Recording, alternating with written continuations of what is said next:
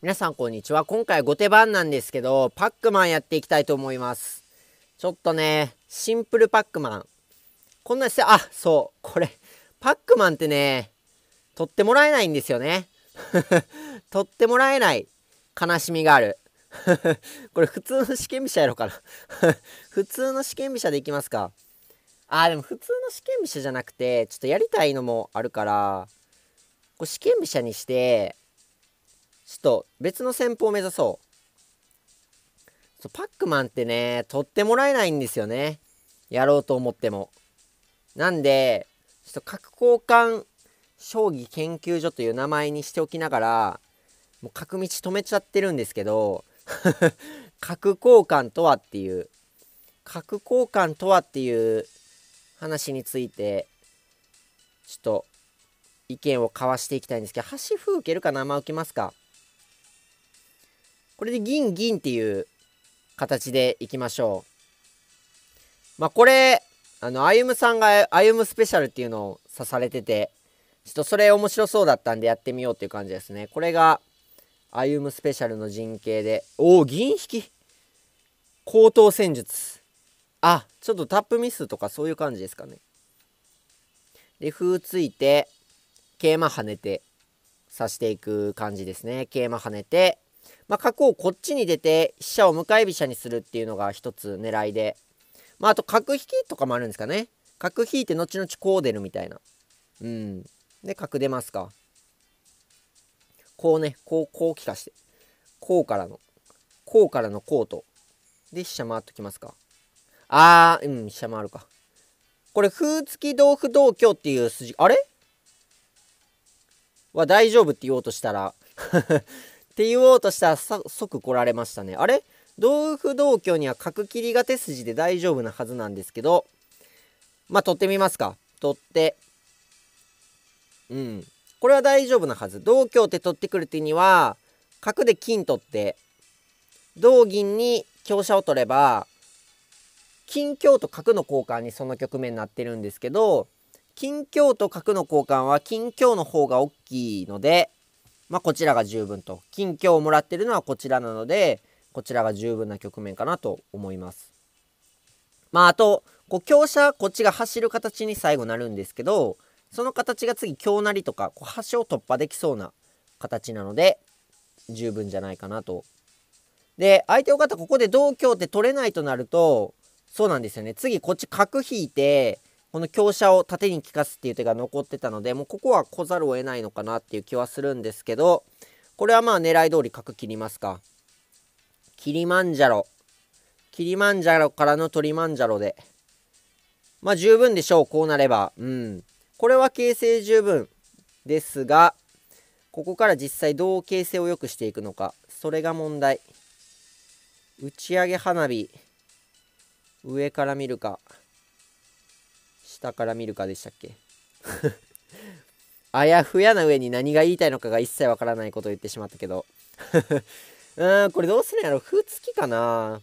歩付きに同歩なら香車が厳しそうみたいな狙いなんですけど。で飛車逃げたら飛車走ってまあ香成りから敵陣突破を目指していこう。そういう狙いなんですけど。ちょっとやりすぎ感もあるなそれでも。やりすぎ感も否めない。金とか銀をここに上がって玉を固めておく手も有力そうなんですけどそれがどれほどの価値なのかもちょっとよくわからない。本命は風かな。同歩で香車打って逃げて今日なって逃げて金。ちょっと筋悪いか。ちょっと筋悪いかな。風ついて同歩香車逃げて飛車走る。風疲れる。今日なる。逃げる。ん？うーん。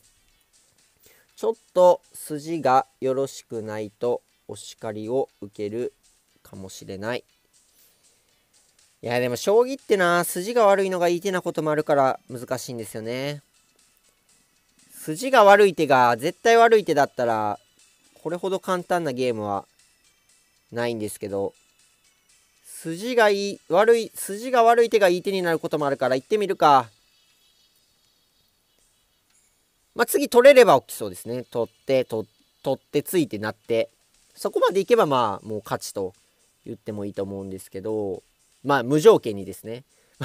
取ってついてなってるうちに詰まされたら負けなんで、あれなんですけど、まあ、無条件にそうなれば、こちらが勝ちと言ってもいいぐらいの差にはなってると思うんですけど、まあ、ここでシンプルに同歩と取って対応してくれてもありますし、こっちが取ってついてなってる間に、相手の方としては、何か別のところで攻めるっていう手も考えられるので、まあ、例えば角出て真ん中狙うとか、うん、そういう手もあるので、まあどうかですね。まあ角出られたらさすがに一回金上がって受けますかね。真ん中ドンと来られるのはやめてくださいって感じなんで、ちょっと金上がってやめてもらって、まあでもこれ相手の方が不切れなのがこっち大きいですね。なんか歩があると歩疲れたりしてなんかこちょこちょされて嫌なんですけど、あ、でもこれでもこちょこちょされるかな。これでも、これでもこちょられるかもしれない。歩疲れる手がちょっと嫌かもな。なんか同歩だと、歩ついて同歩だと、ああ、まあ、これは強者。まあ、歩ついて同歩って取られると、あ、取らされると、ここで飛車回った時にこうスムーズに次こう飛車走る手が残ってたりして、ちょっと嫌なんですよね。あ、歩成り。歩成りはですね、同飛車もあるから、ないかな、ないっていうかありがたいかなと思ったんですけど、これ迷うな。強成りでも勝ちに行く手もある。強成りで飛車取っちゃって勝ちに行く手もあるんですけど、それ風とか飛車をいじめられてなんか、こちょこちょされてややこしいかな。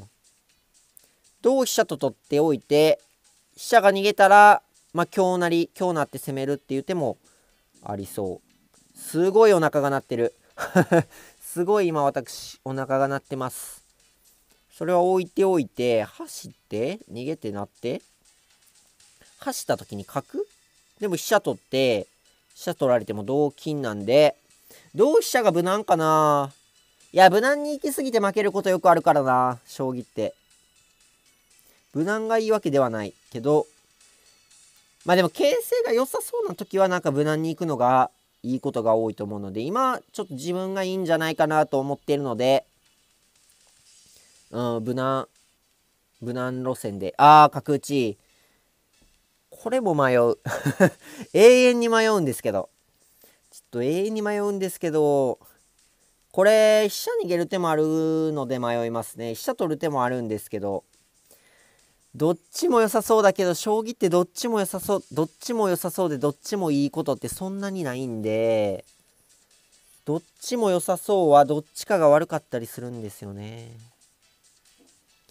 飛車取って、角取あ、飛車取ってきて同金、飛車打ち。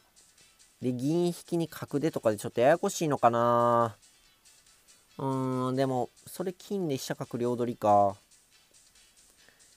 いや、ここは取っちゃうのかな？ちょっと待って、ま、飛車逃げるとそもそも何があるんやろ？まあでも強者取られて、同桂の時に手番渡すから、いや、でも渡しても問題ない気もするけど。まあそこで桂。いやまあもう行くか。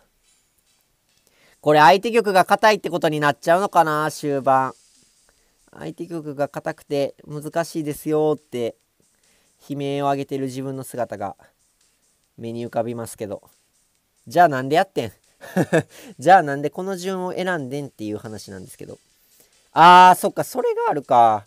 同金は飛車打ちが大手金取りですね。で、金引いても飛車打ちが大手金取りプラス銀取りで。そっか、それが受けにくいか。まあでも同金って取って飛車打たせて銀引いて金取らせてる間に成香寄って攻める感じかなうん同金取りましょう。飛車打ちは銀引けば受かるのでそうですね。でこれで手順に銀を引いてくっつけてで成香寄っときましょう。銀が上に逃げれば桂跳ねが銀取りになるのがこう美味しいですね。手順に。銀を上に逃げたら桂跳ねが銀取りになりますし銀引くと飛車打ちが銀取りになるのでちょっとこの成香よりの銀取りが相手の方としてはこういい感じの受けがないのが相手の方としては嫌なところ。まあこっちとしてはこれに期待したっていうところですね。まあ相手の方ここでどうするか。無視して角出るか。まあ辛抱してこれどっちかに逃げるか。ああ辛抱辛抱ルートですね。これはでも一回はもう手が勝手に桂馬を跳ねちゃう。で、銀で、うん、うん、うん、うん。これは、角を出た時に、こう桂取りになるのでそれで勝負しようってことですね。ただまあこちらとしては角取られて桂馬取らせてる間に攻めることができれば相手玉を寄せれるっていうことでもあるのでそのチャンスを生かしていきたい。成香寄っとくぐらいが自然なのかな。成香寄って角出て飛車打って桂馬取られて金張り付く。いやーでもそんなんじゃちょっと変かな。まあでもこっちの玉硬いんでまあこういうぼちぼち攻めでいいかな？ぼちぼちしすぎかな？ぼちぼちしすぎっていう日本語の方がちょっと問題かもしれないけど。いやーどうなんやろ？角出られてうん。飛車をここに打ちたいんですけど飛車をここに打てば次に成香寄って同金同飛車成っていう手があるんでただ飛車打っちゃうと金弾かれた時がよくわからないよくわからない系男子なんでこれ金張り付かれるとうるさいんですかね次。ってことは先に飛車打っちゃって金張り付かれたら成香寄る。銀取った時に金取って詰ますみたいなそういうイケメソな寄せ方があればいいけどちょっとそれ怪しいな。そこまで踏み込んじゃうとちょっと怪しくなりそう。一回銀上がって受けとくぐらいが無難なのかな。でもそれなんか手順に竜入られてるからあんまり面白くない気がする。できればここで攻めたいですね。金打ちとか。銀上がるか。いやーどうなんやろ。無難。無難。無難に行くか。無難に行きましょう。ちょっと。竜の帰郷あーそれがあるけど同歩で桂馬に銀埋めて。取って同銀で金張り付かれあーなんかちょっと怪しい。ちょっと怪しい。いや同歩が怪しいか。同歩って取らない方がいいか。ここで飛車打って攻めるか。金使わせたらまあ飛車なって次金打ちから寄せに行きましょう。こうで。同金同成香で。えー、なんでそんなノータイムな。ちょやめてよ。ちょやめてよ。そんなノータイムやめてよ。取って同金成香より。取って同金成香よりなんか取って同金金打ちなんかがわからん。取って同金成香より同金同金金打ち角逃げの時がわからん。いやこれ桂打ちっていう寄せ方あるからちょっと気をつけないといけないんですよね。いやちょっと待って。なんか怪しい？いや、と、とりあえず取る？とりあえず取って、同金の時が、同金の時に、成香寄ると同金同竜金打ちで分からない。まあ、そこで竜引くとかもあるけど、金打って同金同成香の方が確実なんですけど、桂馬打たれた時に、あなた寄せきれるんですかって言われるとちょっと怪しい。桂馬に金打って受けるとかじゃ変ですもんね。いやーでもそれもあるんかな？ちょっとね 何を考えてるかを詳しく言えない自分が歯がゆしなんですけれども。歯がゆしなんですけれども。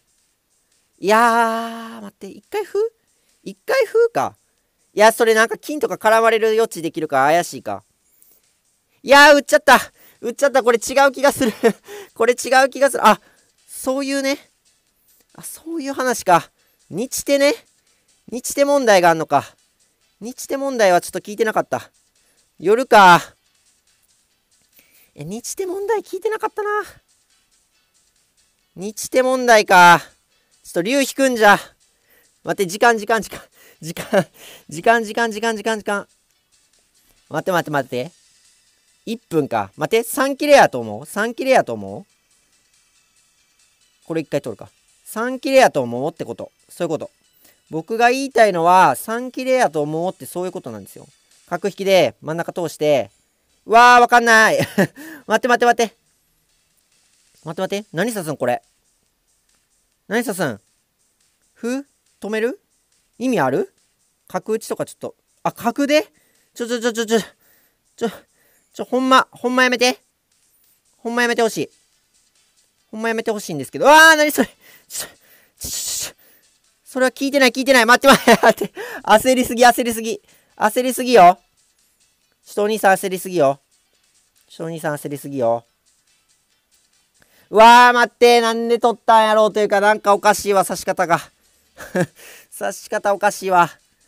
うーん、形成すごい良かったと思うんだけど。なんか急に標準語になったし。急に私標準語になりましたけども。どういうことでしょうか。これ、詰めろですか？詰めろが怪しかったですよね。待って待って待って。フーツ一回。なんか角打ちとかない？上？取る？あーでも、この瞬間に寄せられる？さすがに。あー、今日なりで。うわー、なんでこれ負けんの？これ負けんのはやってないわ。さすがに。これ負けんのは、やってない。あー、罪か。いや、時間ひどいな時間管理がひどかった気がする。いやー、ちょっとこれもが、なんか、寄進解析権残ってたんで、見ていきましょう。形成いやー、まあちょっと待ってください。このまま続きで見ていきましょう。いやー、何が良くなかったんでしょうか。何が悪かったんでしょうか。っていう昔、ネタがありましたけども。あ、でもそんなに良くないのか。大優勢、まあでも大優勢って相当いいからな。で、時間なくなってきたこの辺りから、こうもう、分かりやすいですね。時間がなくなった辺りから急に悪くなっていってるっていう。そうか。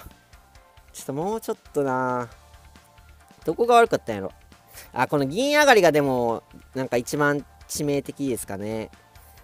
ここで何やろ。ここで何でしょうか。あー、金張り付き。シンプルにね。いや、でもなんか、そうか。で、金打って。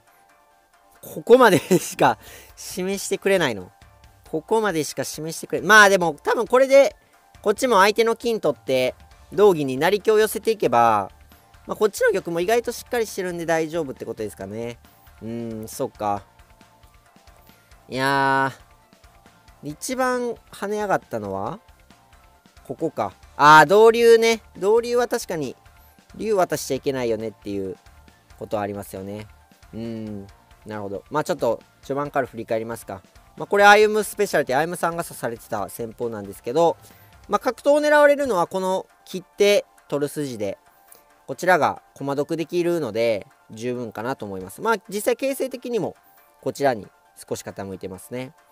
で、この後飛車先を突破していって、駒得が拡大したので、こちらが良かったんですけど、うーん、そうか、成香を寄られて、で、そうですね、これ竜入られた時にちょっと銀を上がったのがひよってましたね。